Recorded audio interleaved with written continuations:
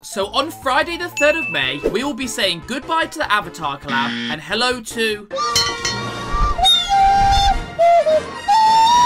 Before we get into it, make sure you drop a sub and like. Can we hit 20 likes on this video? On Friday, all of the Avatar Mythics and the Event Pass will be leaving us, and returning will be the Olympian Powers, as well as another Star Wars collab. We will be seeing Star Wars in Battle Royale, LEGO, Rocket Racing, and the Festival mode. So in Battle Royale, we will see the return of lightsabers, and a brand new mythic called Wookiee Bowcaster. We will also be getting brand new skins, featuring a Chewbacca skin, a Rebel Leia Organa skin, the Death Trooper skin, and Lando Calrissian? I don't know how to pronounce the name, sorry. We will also be seeing some Star Wars themed NPCs on the island, presumably where you can buy lightsabers and the Wookiee Bowcaster. For LEGO Fortnite, lightsabers will be available, and new Star Wars themed NPCs as seen in the LEGO trailer. For the Fortnite Festival mode, we will be getting Star Wars A New Hope jam track. Honestly, not gonna lie, I don't know much about Star Wars, so not sure what this includes. And there will be new Star Wars themed instruments. And lastly, for Rocket Racing, we'll be getting new vehicle skins, but it's unclear what this includes yet. We may also be getting brand new Season 3 teasers, as it was revealed that it will be Apocalypse themed. So I'll be making a video on Friday with all the confirmed changes and teasers, so make sure you drop a sub and like so you don't miss that.